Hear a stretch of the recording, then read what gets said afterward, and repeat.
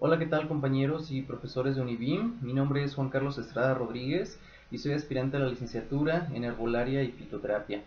En este momento me dispongo a dar respuesta a una pregunta que tenemos de tarea, que es ¿qué ha significado para mí el trabajo en el entorno virtual de Univim? Bueno, en este momento cabe mencionar que hay cuatro aspectos importantes que he encontrado, entre ellos el acceder a una nueva forma de estudiar, ya que yo vengo de un sistema en el cual solamente las clases podrían tomarse en la universidad, lo cual no permite eh, utilizar otro tipo de recursos o utilizar otras formas alternativas de aprendizaje.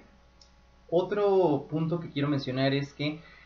también aprendí a conocer y administrar mi tiempo, ya que esto era un concepto que tenía en mente pero no lo había reafirmado tanto como hasta ahora a partir de los videos y de los textos que nos proporcionaron.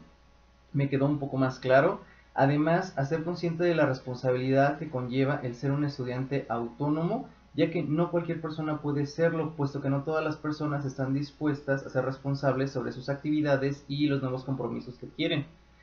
Y finalmente, pues para retomar el uso de las tecnologías en varios ámbitos, precisamente en este momento este video es uno de los recursos que jamás había utilizado en mi vida para acceder a, a ya sea al estudio, a la aplicación de tecnologías, etcétera, lo cual me deja un gran sabor de boca, ya que he aprendido mucho durante estas tres semanas del curso propedéutico.